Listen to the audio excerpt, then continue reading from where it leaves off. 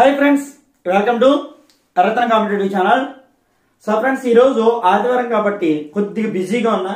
అయినా కానీ మార్నింగ్ ఒక వీడియో అప్లోడ్ చేశాం.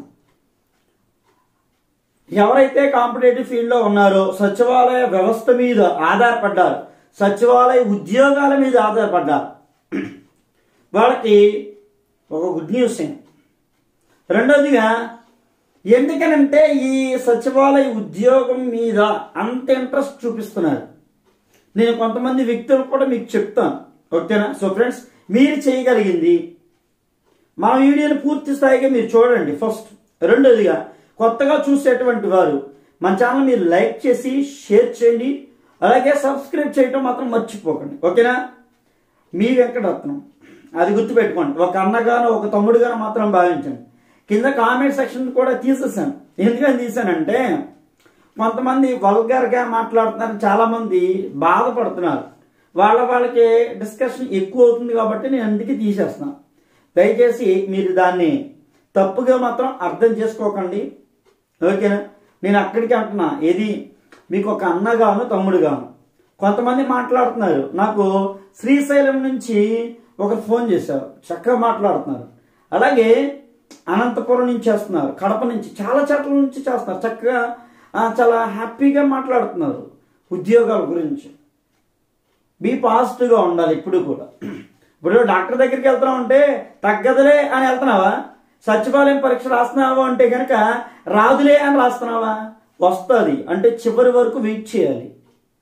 నీవు ఏ ర్యాంకర్ అయినా లక్ష ర్యాంకర్ ఉన్నా ఐదు వేల ర్యాంకర్ ఉన్నా యాభై ర్యాంకర్ ఉన్నా ఫస్ట్ ర్యాంకర్ అయినా వెయిట్ చేయాల్సిందే. ఓకేనా అర్థమవుతుందా? సో ప్రతి ఒక్కరికి మంచి అవకాశాలు అయితే ఉన్నాయి.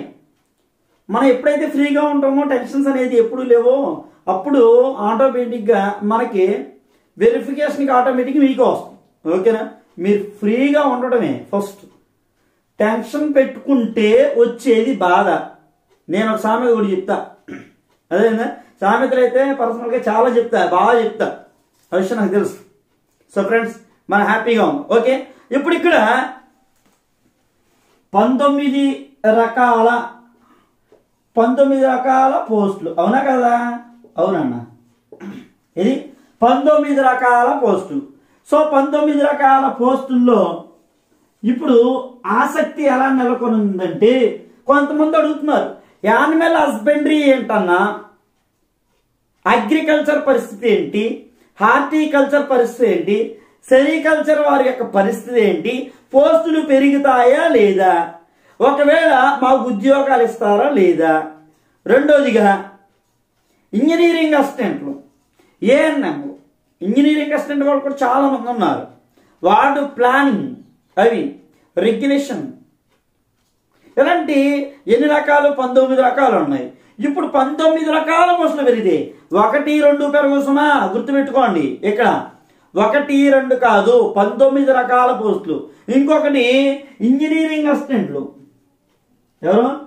ఇంజనీరింగ్.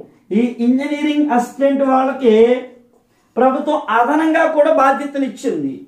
అదనంగా కూడా బాధ్యతలు ఇచ్చింది. ఆల్రెడీ మీరు టూ డేస్ క్రితం చూశారు.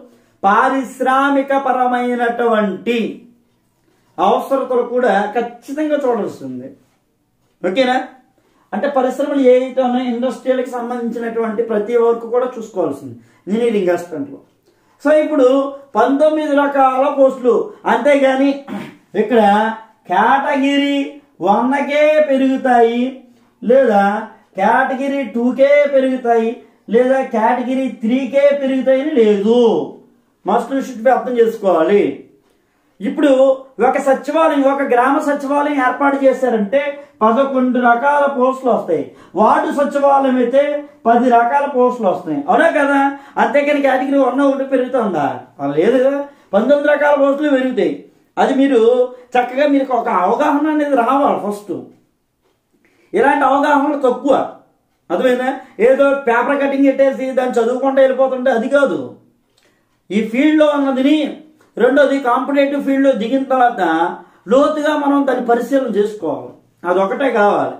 నేను ఏ విషయానైనా ఎలాంటిదైనా చాలా క్షుణ్ణంగా నాలుగు వైపులా కూడా అన్ని కోణాల్లో నేను ఆలోచిస్తూ ఉంటాను. ఇది కాంపిటేటివ్ ఫీల్డ్ పనికొస్తుందా? కాంపిటేటివ్ ఫీల్డ్లో ఏ రకంగా క్వశ్చన్ అడగటానికి అవకాశం అయితే ఉంది.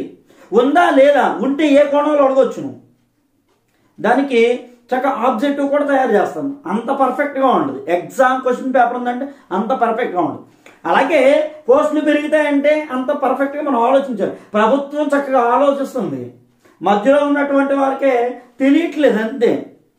ప్రభుత్వం ఆలోచిస్తుంది. గుర్తుపెట్టుకోండి ఫ్రెండ్స్ పంతొమ్మిది రకాల పోస్టులు పెరుగుతాయి ఎస్పెషల్లీ ఎస్పెషల్లీ ఇక్కడ కేటగిరీ వన్లో మహిళ. సో ఫ్రెండ్స్ నా వీడియోని మీరు పూర్తిగా చూస్తేనే అర్థమవుతుంది. నేను కామెంట్ సెక్షన్ కూడా తీసేస్తాను అని కూడా చెప్పాను. ఓకే మహిళా పోలీసు ఏది? మహిళా పోలీసులకు సంబంధించినంత వరకు కూడా అసలు తూర్పుగోదావరిలో రాలేదు. విచిత్రం చూడండి తూర్పుగోదావరిలో పశ్చిమ గోదావరిలో మరి పంచాయతీ సెక్రటరీ రిలీజ్ కాలేదు. అది ఎందుకని రిలీజ్ కావట్లేదు? అంటే ఒకసారి పోస్టులు పెంచాలి. పోస్టులు పెంచి చూపిస్తారు ఇప్పుడు.